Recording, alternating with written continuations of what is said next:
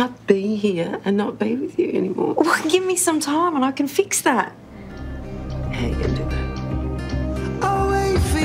No, no, no, just don't leave me. You'll be living here in a box.